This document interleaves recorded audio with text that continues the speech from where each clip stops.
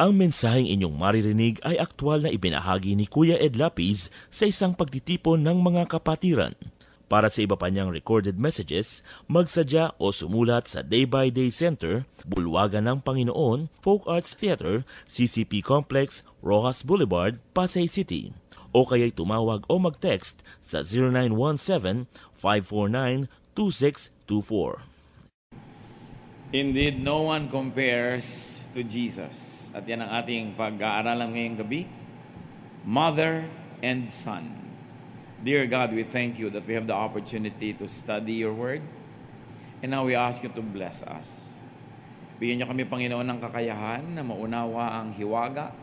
At ito'y mabigyan namin ng bagay na paglalapat sa aming buhay. Be our speaker. And as we approach your throne of power and grace and healing, Lord, you ask you to forgive our sins. Tunay na lagi kami nagkukulang sa inyo, ngunit sapat ang inyong pag-ibig, ang inyong pagpapatawad. At ngayon humihiling kami, Panginoon, ng paglilinis para walang maging sagabal. Mapagpala nyo kami ng lubos at kami naman maunawa ang mensahe nyo sa bawat isa. Salamat, Panginoon, dahil binigyan nyo kami ng kalayaan, ng kakayanan na makarating sa dakong ito upang magdala kami ng pusong nangangailangan ng iyong pagmamahal. Upang magdala kami ng mga handog namin sa inyo, ng mga hiling, pasalamat. At inihiling din namin, Panginoon, na palakasin niyo po ang aming mga katawan, pagalingin niyo po ang aming mga karamdaman, at maging ang mga mahal namin sa buhay na hindi namin nakikita sa sandaling ito, kayo rin po ang siyang magbantay, mag-aruga, magpala sa kanila. Bless everyone who might still be on the way. At ngayon pa lang, dinadalangin namin sa inyo na sa aming uwian, pagpalain nyo ang bawat isa. Bigyan nyo, Panginoon, ng kaligtasan. Bigyan nyo ng kagalakan. Father, walk in our midst. Allow us to feel your presence and to learn from you.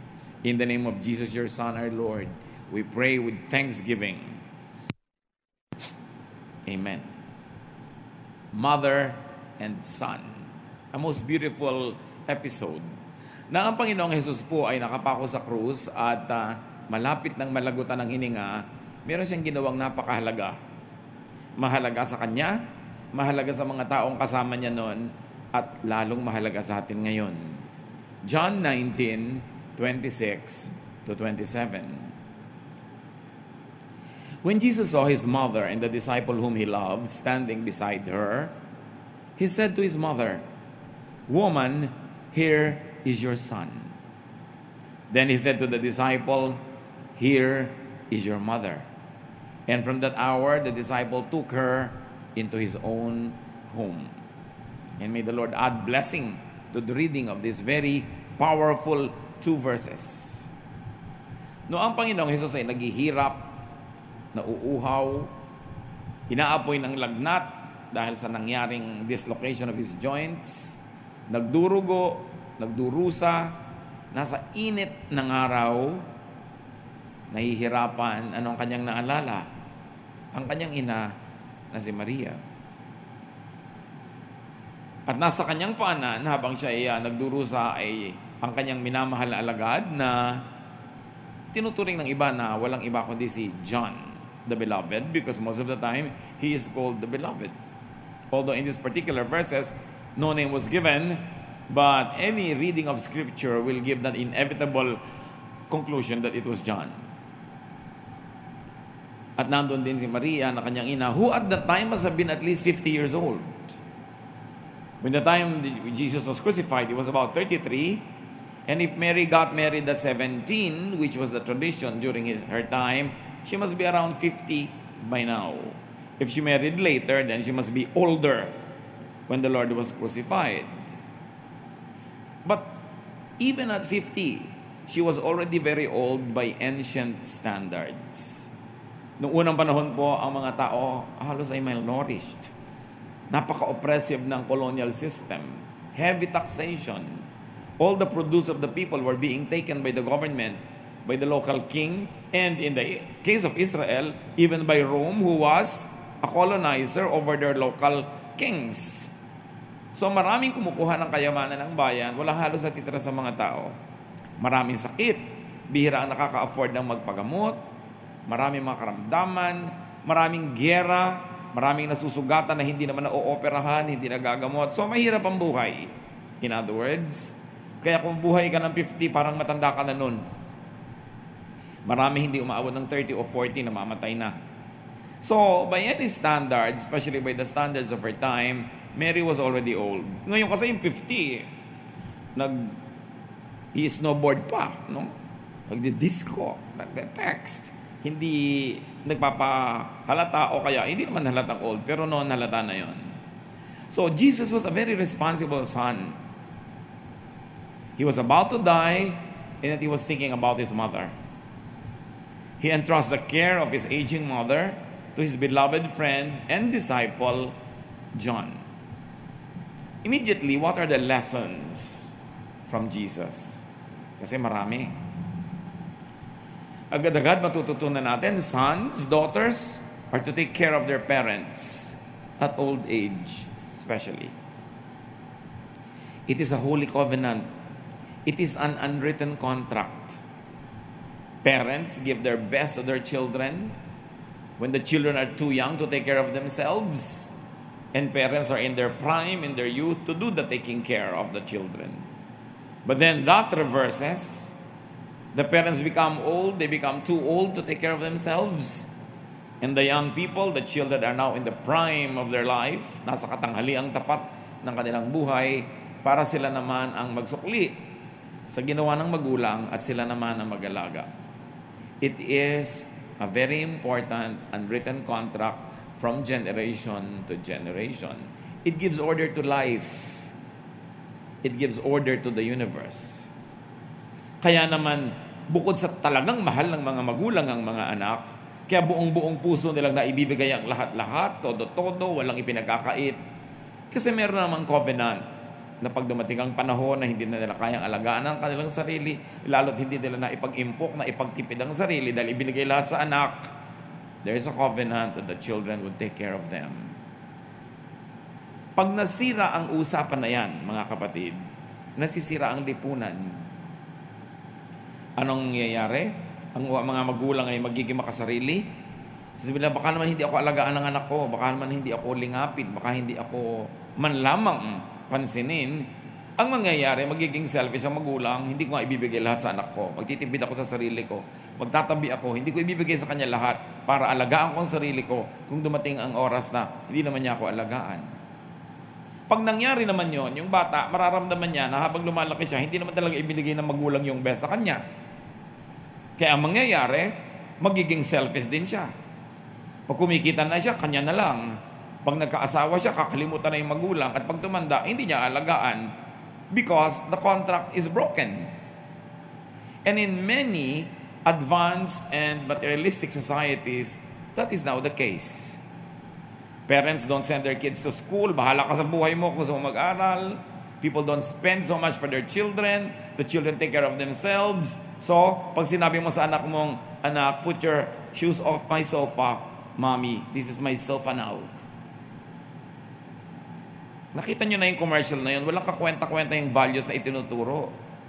Kung mo nakaka-afford ka na maghulog ng kondo mo na mumurahin, hindi ka na pwedeng pagsabihan ng magulang Di ka na pwedeng ituwid dahil may sarili ka ng kita. And exactly that's the appeal of that commercial. It appeals to the rebellious nature of children. Naiinis sa nanay na nagpapalinis ng bahay, nagpapaganyan. So sabi, ang moral lesson, humiwalay ka na sa nanay mo, maghulog ka ng kondo namin. It's a very negative value na dapat iprotest ng lahat ng may mga respeto para sa pamilya. But going back to the issue of mother and children, father and sons, mother and daughters. 1 Timothy 5 4. But if a widow has children or grandchildren, they should learn to serve God by taking care of her as she once took care of them. This is what God wants them to do. So isang napaka-taas na uri ng relihiyon, ng pananalig, yung maglingkod sa mga matatanda, lalo't magulang mo o lolo't lola mo. Sabi, ito ang paglilingkod sa Diyos. Ito ang paglilingkod na dalisay, hindi yung mga laging nasa church, ang haba-haba ng mga daldalan, kwentuhan, fellowship, Tapos nanineglect na ang magulang, nanineglect ang asawa, nanineglect ang mga dapat alagaan sa bahay. Tapos sasabihin nila, eh kasi ministry. Diba? Sabi nga, you want to learn to serve God? Take care of your parents. Of course, it applies to widowers also. Hindi lang laging widow.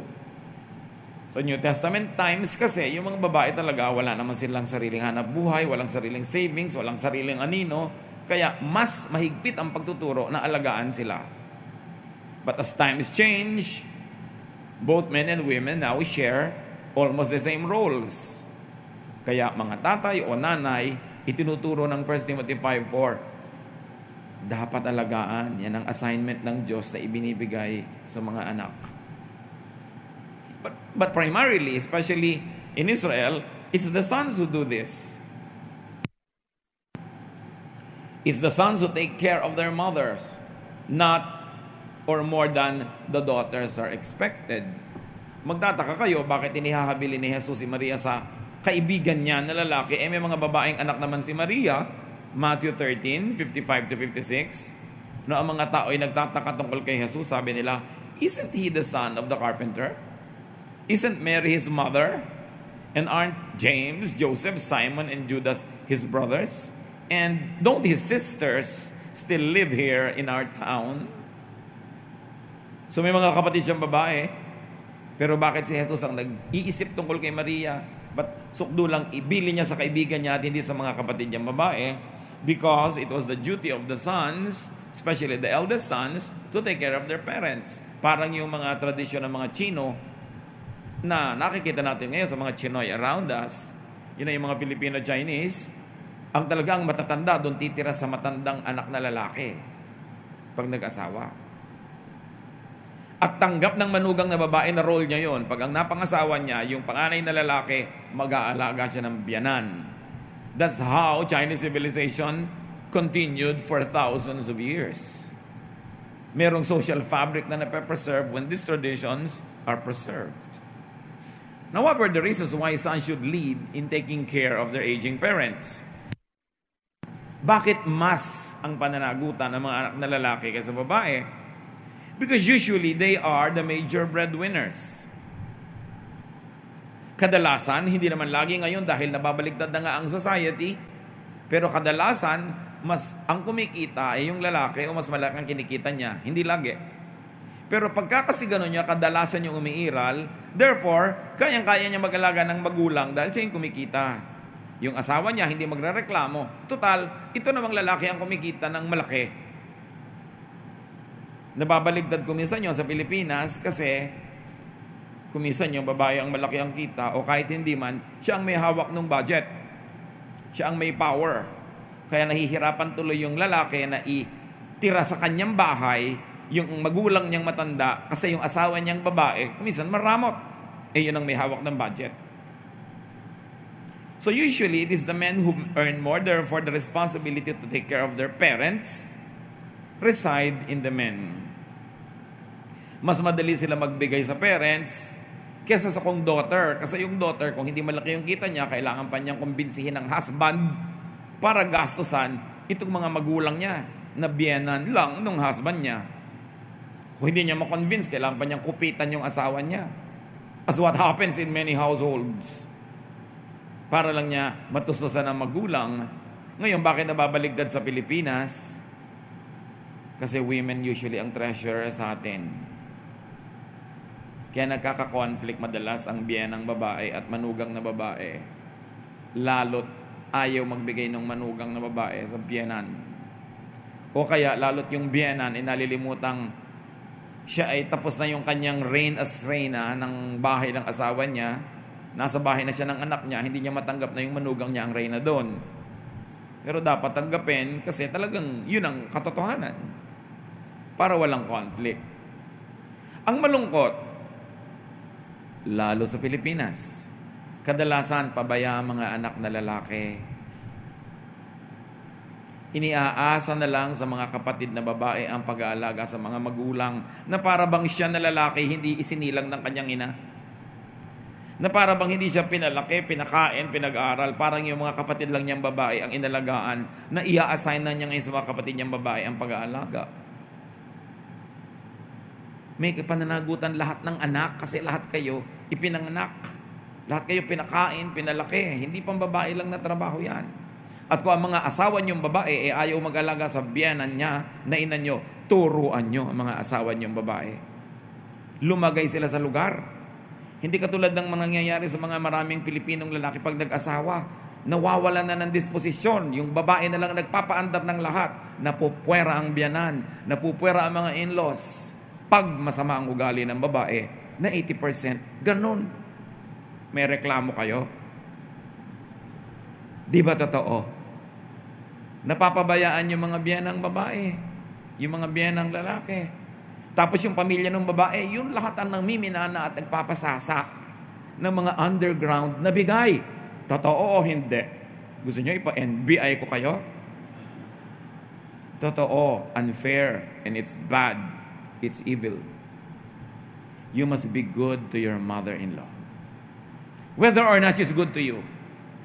Yung ipinanganak niya yung napangasawan niyo, pinalaki niya, binigyan niya ng best, na-earn na niya yung right hanggang kamatayan sa inyong respect. Entitled na siya sa pension niya hanggang libing hindi dapat agawan ng asawang babae yung biyanan niya ng debosyon, ng pagmamahal ng lalaki. Marami naman kasing lalaki pag nag-aasawa, nababaliw. Nalilimutan na yung magulang. Hindi niya napapansin, pag birthday ng biyanan niya, nandun sila buong pamilya, pero pag birthday ng nanay niya, masakit ang ulo ni Mrs. Masakit ang paa, masakit ang puson. Basta absent siya, yun ang ending. Dapat kayo makahalata at huwag niyong ipapaapi ang magulang sa asawa. Ganon din naman, huwag ipaapi yung asawa sa magulang. May mga misa na magulang talaga. In-laws from hell. Meron talagang ganon. Maniniwala ka talaga may impyerno pag nakita mo yung biyanan mo. Pero bihira yun. Madalas ang may problema yung manugang. Hindi siya nag adjust Hindi siya nagre-respect. Pero inaakala kasi ng maraming anak na lalaki, pangkapatid na babae lang nila yung duty. Hindi yung totoo. Kadalasan din, kaya nagbubulag-bulaga na lang yung lalaki kasi alam niya yung asawa niya, yung wife niya unwilling or half-hearted ang manugang na babae. Kaya nagbubulag-bulaga na lang si lalaki para huwag sila mag-away ng mga asawa. Pinapaubaya na lang sa mga kapatid ang pag-aalaga sa mga matatanda. Wife, let even help your husband do his God-appointed duty to take care of his aging parents. Huwag kayong maging hadlang para maging mabuti siyang anak. May Diyos na nakakakita ng lahat. At Diyos ang nag-utos ng mga magulang ay arugain, alagaan. Hindi naman sinabing kung mabait lang sila o kung best lang na ibigay nila sa kanilang mga anak. Basta magulang, tatanaw ka habang buhay. There's another reason why more is expected from sons because usually sons get the most from their parents. Lalo sa mga makalumang lipunan ng araw, ang pinag-aaral lang, anak na lalaki, yung babae hindi. Mas maraming napupunta doon sa anak na lalaking gastusan. Pag kayo nang ikakasal, todo. Pag yung anak na babae, halos hindi na ginagastahan ng magulang. So, natural lang ngayon na yung mga anak na lalaki, mas marami kayong tinanggap mas marami kayong ibigay. To whom much is given, much is required. Of course, there's another lesson from Jesus. Sons and daughters who cannot take care of their aging parents should entrust them to reliable, dependable, able, and caring persons, which was what Jesus did. Dapat, kaya naman niya. Hindi naman niya ibibigay sa iba yung pananagutan na alagaan yung kanyang ina sa katunayan, kahit saan nagpupunta si Jesus doon, kasama naman itong mga babaeng ito. Kaya lang, ano mga gawa niya, ay nakapako na siya at malalagot ang hininga. So, inihabilin niya sa kaibigan. John is believed to have been rich or at least comfortable sa kanyang buhay. At kung di man ganun ka-comfortable, at least dependable, pwedeng paghabilin na ng ina More than that, John is known to be tender and expressive. He was very close to the Lord. John 13 23, one of his disciples, whom Jesus loved, was lying close to the breast of Jesus. This was during the what you call the Last Supper or the Lord's Supper na maano siya, magiliw ang kanyang pakikitungo kay Jesus na isang magandang senyales na magiging magiliw din siya sa matandang ina na ngayon ay aalagaan niya. Kung hindi mo maibilin sa isang tao, busy ka, nagtatrabaho ka abroad, at matanda na talaga at kailangan ng care, iba, ibilin mo naman sa isang clinic, sa isang caring institution, Nung araw, negative ang tingin natin eh, doon sa mga home for the aged. Akala natin parang itinapon ka na lang doon. Pero ang dami niyang advantages. Kesa oo nga, kapiling nga ng kanyang anak at mga apo yung matanda, pero maghapon namang walang kasama. Nung mabagok yung ulo niya ng 3 p.m., 8 o'clock na nung malaman kasi wala naman tao sa bahay.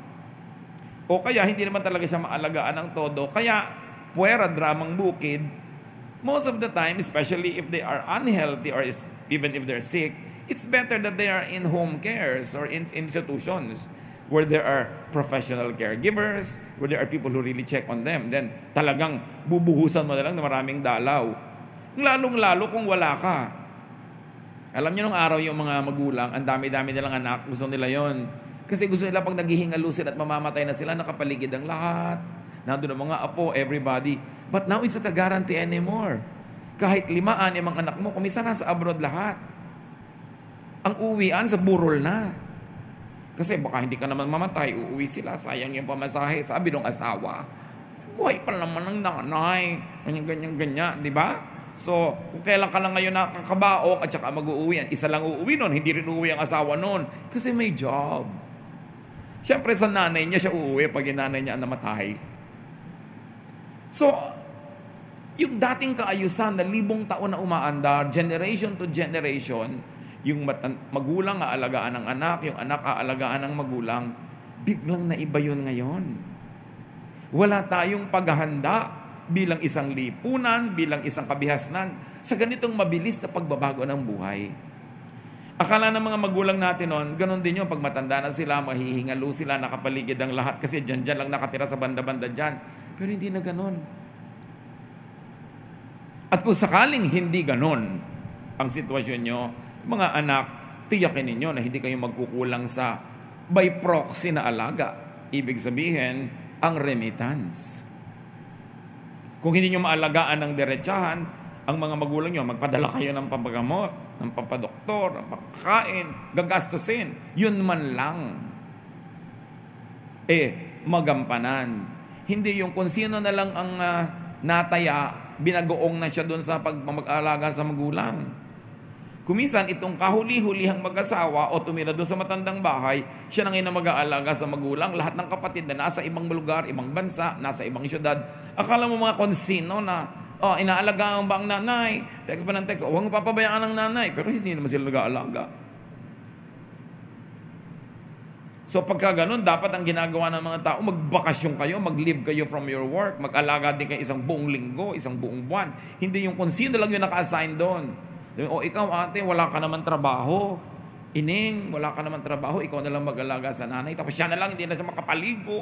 Wala na siyang magawa sa buhay niya, mag-alaga na lang. Hindi naman siya makareklamo dahil magmumukha siya masama. Pero sa kalooban niya, siyempre, nagre-reklamo din yun. Ayaw lang pahalata. Hindi dahil nagre-reklamo siya sa pag-aalaga, kundi nagre-reklamo siyang wala man lang siyang karelyebo. Pag isinilang ka ng magulang mo o inalagaan ka, pinalaki ka, pinakain ka, pinag-aral ka, may tungkulin ka. Pero masarap sana, huwag nating isipin na tungkulin yun eh.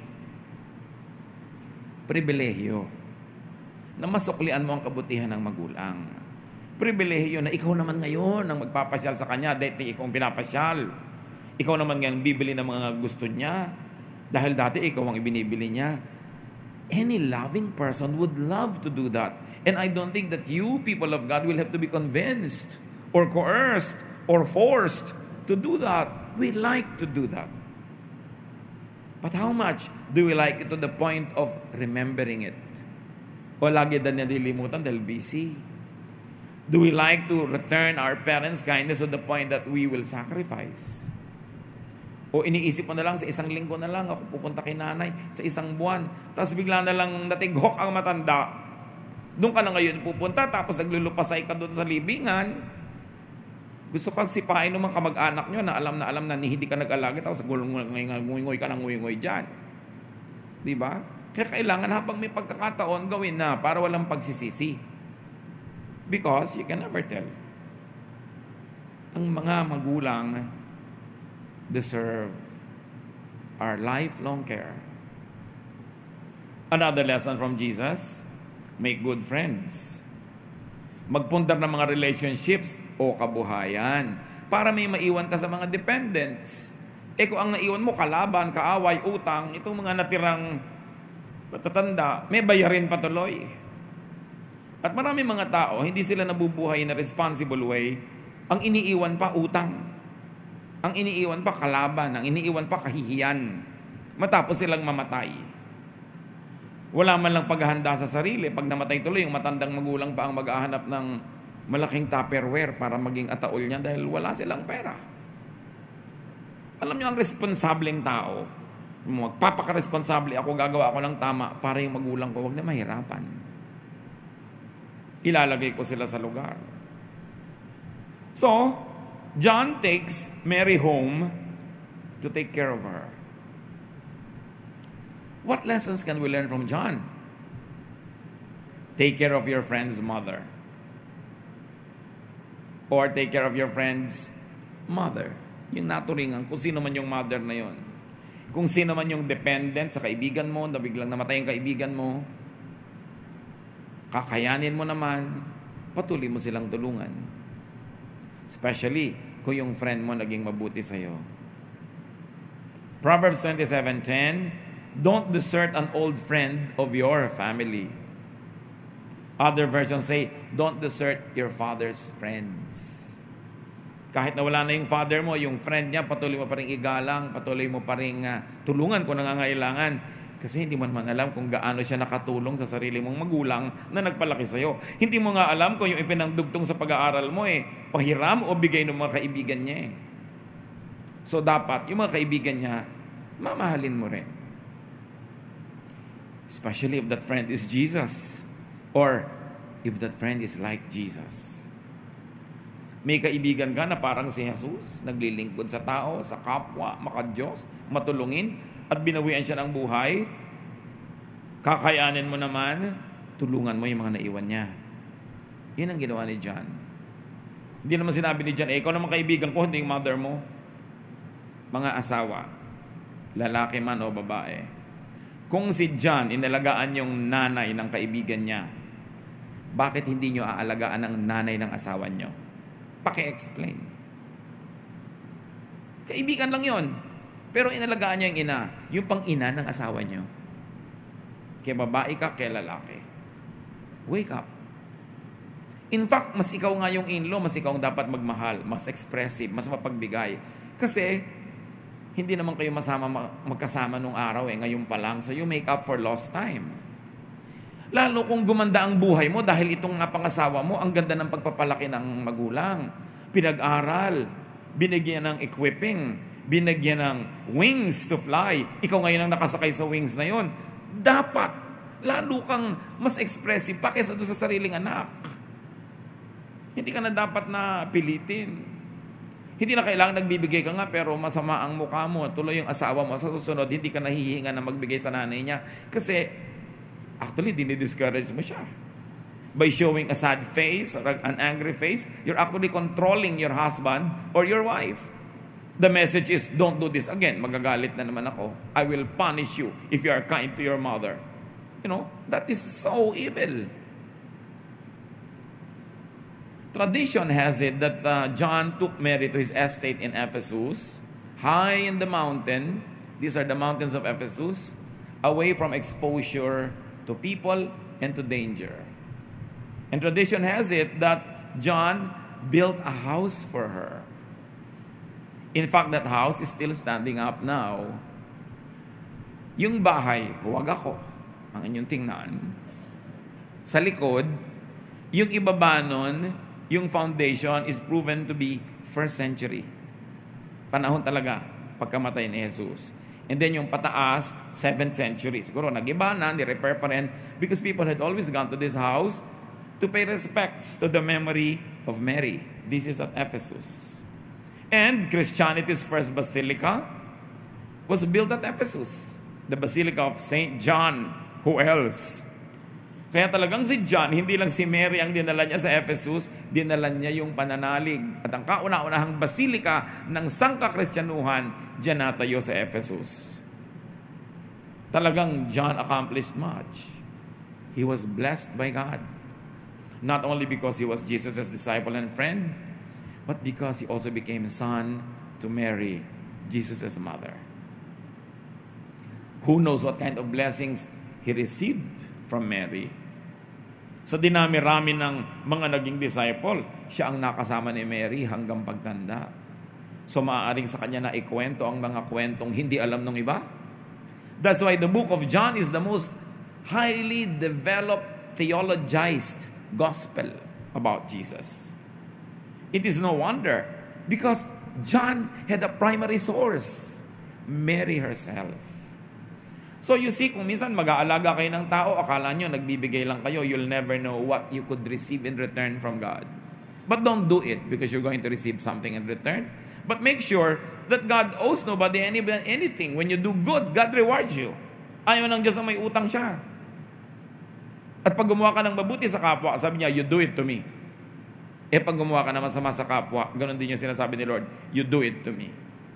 Di ka naisabyanan mo, you're doing it to me. You are nice to your daughter-in-law, you are nice to your mother-in-law, you are doing it to me. Ang simple ng katotohanan. Hindi pwedeng takasan, hindi pwedeng iwasan yung lente ng Diyos na nakailaw sa atin, nakabantay. God is watching us. We must behave correctly. So, what else do we learn? Love your beloved's loved ones. Pag mahal ni Jesus, mahal din ni John. Ngayon, take note, stepmothers. Stepfathers. Magkakaroon kayo ng asawa na may anak na, biyuda na siya o biyudo, mahalin nyo na yung mga stepchildren nyo. Sandali lang naman sila bata eh. Tatanda din yun, magkakaroon ng sariling buhay, maging independent. Ang naitanim niya sa puso nila, pagmamahalan, hindi pagkabuhi. Dahil tatanda din kayong. Tapos yung mga stepchildren nyo, sila na naman yung mga nasa poder. Ano gagawin nila sa inyo? Napakalaking pagkakamali ng mga stepfather o stepmother na hindi mahalin ang stepchildren nila, lalo't pagmalupitan pa.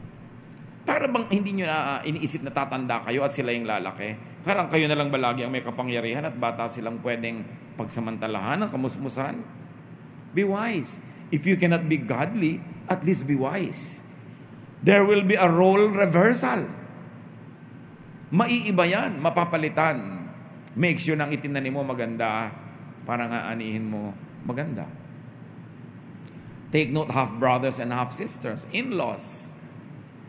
Pag mahal ng asawa nyo, mahalin nyo rin. Pag mahal ng kapatid mo, mahalin mo rin yung hipag mo kasi mahal siya ng kapatid mo.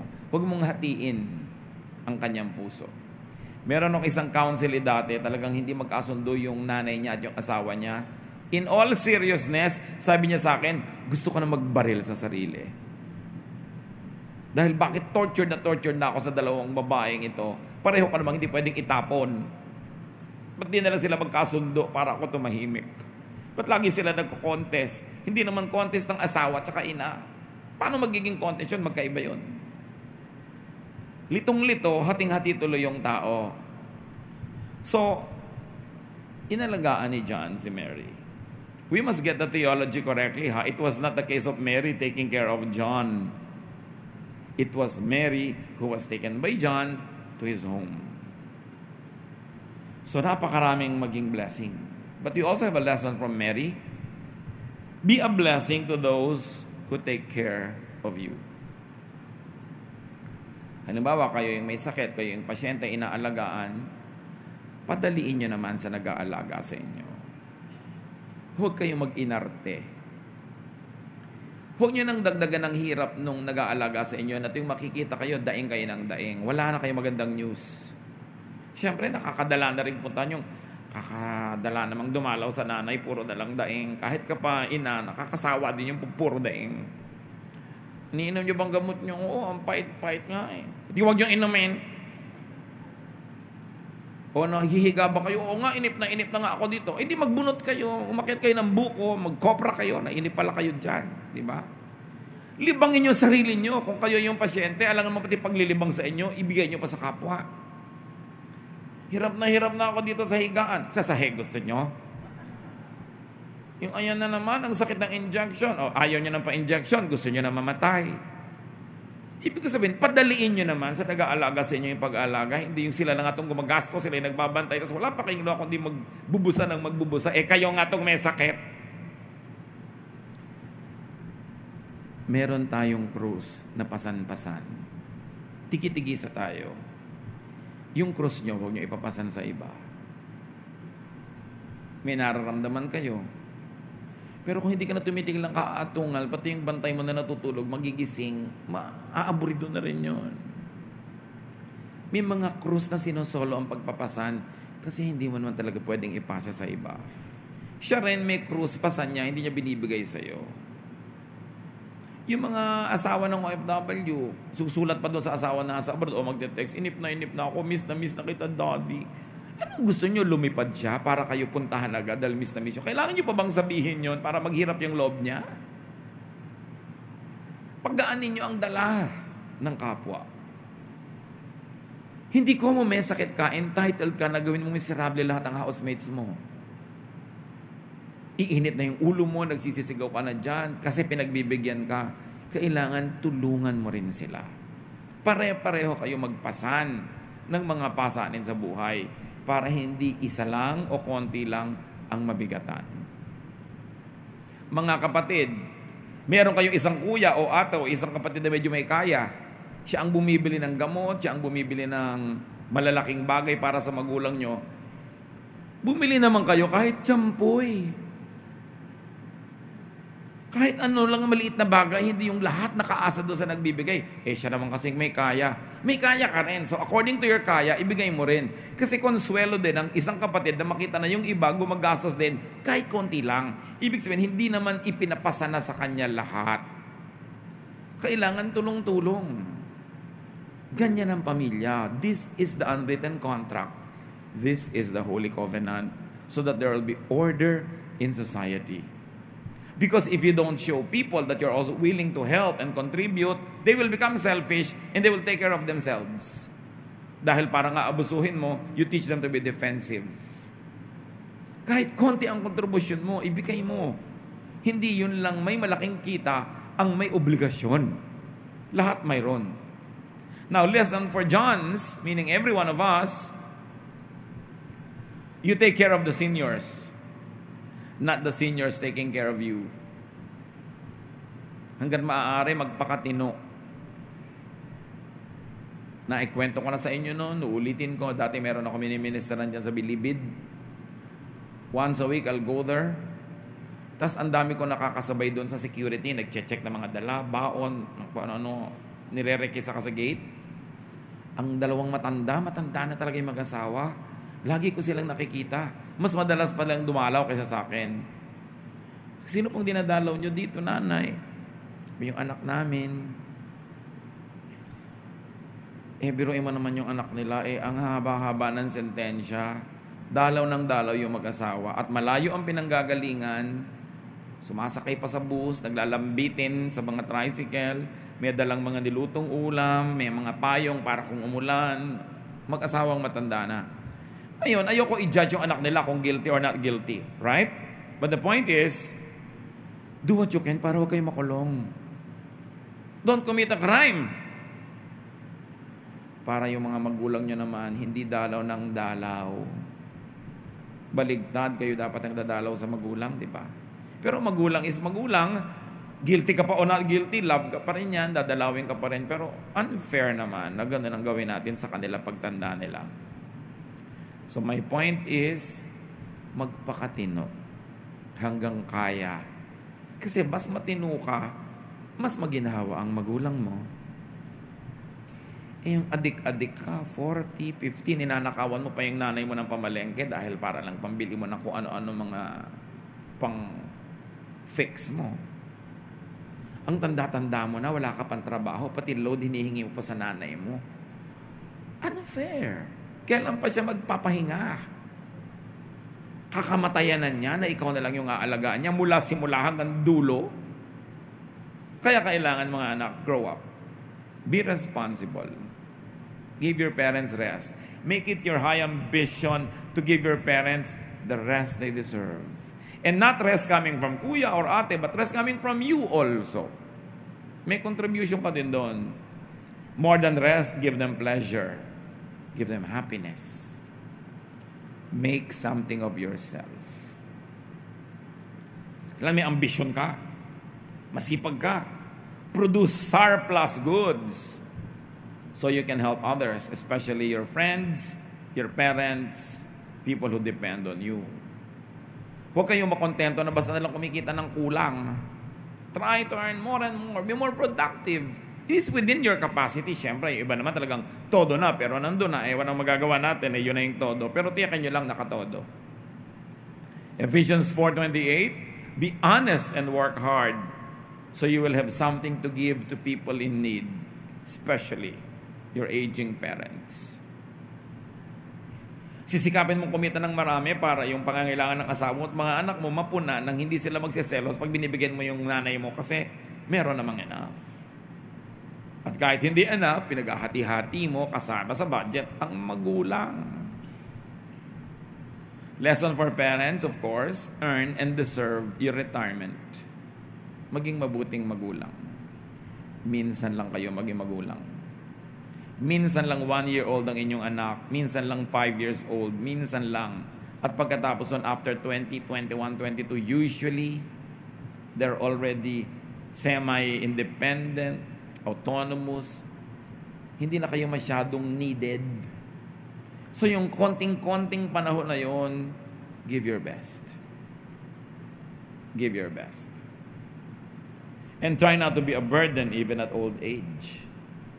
Magandang ambisyon ng magulang at may mga kilala akong ganong magulang. At salamat naman, kaya nila. Hindi naman nila laging kaya eh. Hindi naman lahat ng tao kaya yon. Pero ang ambisyon niya, sabi niya, alam mo, ang aking hangarin hanggang magpantayang pa ako, eh hindi ako aasa sa anak. At kung maaari, ako pa yung patuloy na magbigay. It's a good ambition of parents. Hindi yung, oy, 17 ka na ha, kailangan magsimula na natin, baligta rin ang mga role natin, ikaw na lahat. May ganun eh. Parang akala mo talaga nag-invest siya sa stock market, gusto na niyang kumita yung mga interest niya agad. Pero napakaganda rin ambisyon ng magulang yon. Biruin nyo kung ambisyon ng magulang, hindi siya magiging burden. At ambisyon naman ng anak, lagi siya magbigay. Eh di, there's an outpouring everywhere. Nag-uumapaw ang mga blessing. Kesa yung parehong kuripot, parehong ayaw magbigay sa isa't isa, magsasara ang tindahan, magsasara ang planeta because the world will not run. 1 Timothy 5.8 People who don't take care of their relatives and especially their own families, have given up their faith. They are worse than someone who doesn't have faith in the Lord. Ang hindi daw nag-aalaga ng mga sariling kamag-anak, lalo ng pamilya, masahol pa sa hindi nakakakilala sa Diyos. Of course, nung araw na sinulat ang mga ito, wala pang SSS, wala pa mga magulang na may mga investments and placements o pension. Wala pa mga senior privileges. Pero ganoon pa man, meron man nun ngayon, the idea is the same. Naiiba lang yung details. We take care of our family. Kaya dapat natin i-consider mga magulang, be good, be your best. Could you be neglecting needy people who deserve your help? Who are entitled to your help by virtue of your relationship. Especially an aging parent or elder, or maybe a needy friend of your parents who have been good to your parents. And worst of all, could you be neglecting your own child? Maraming ganyan mga kalalakihan, magga-girlfriend, bubuntisin, tapos kakalimutan na, bahala na siyang mag-alaga doon sa anak na yon Walang kakonsya-konsyensya. Walang lingon likod. Para lang siya nagtanim ng okra sa bukid. Nung binuntis niya itong babaeng to, Bahala na si babae. At para makalusot siya, babalik rin pa niya. Akin ba yan? Eh bakit mo tatabihan ng babaeng hindi ka sure pag nagbuntis kung sa'yo o hindi? Di ba? Pero yon mga palusot para ho maging, huwag karoon ng pananagutan. Kasi ayaw managot. Kasi kung gusto niya managot, kay kanya kay hindi, hindi tutulungan mo. Be responsible. Ang dami-daming responsableng tao, sariling anak, hindi kinikilala. Hindi itinataguyod. Ang dami tuloy lumalaking bata na maladjusted. Kulang sa pansin. Kulang sa pagtingin. Kahit na lang sino tuloy ang mang loko sa kanya na parang may pagtingin, sumasama. Kasi naghahanap ng pagmamahal. We produce so many dysfunctional people because we neglect to love children. At ang mga sugat pa naman ng damdamin ng bata, pag hindi kumilala sa Panginoon at pagka hindi nagpatawad, dala buong buhay. Yung pait, yung sakit. At meron siyang tendency gantihan ang mundo kahit hindi yung mga individual ang nanakit sa kanya, basta mananakit din siya. Let's produce people who are full of love so they'll be loving. Kailangan gawin natin yung ating mga God-ordained roles.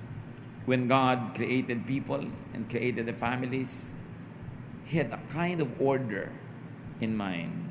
An order that enables people to give their best and then to receive the best from others. A social order that sees a very smooth transition from generation to generation. Don't let modern inventions and modern interruptions in these traditions disrupt your family, your personal life. You have to process this. Some traditions are precious, they must not change. One of that is that parents take care of their children, children take care of their parents, no matter what modernity happens. Dear God, we thank you that you have these things in mind, then we can read in the Bible very basic and clear guidelines how to live lives as families.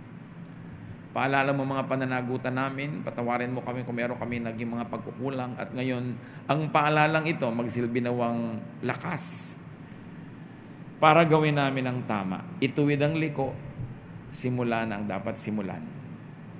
Pagbulay-bulayan natin mga kapatid ang kahulugan ito sa ating buhay at sa buhay ng mga malapit sa atin.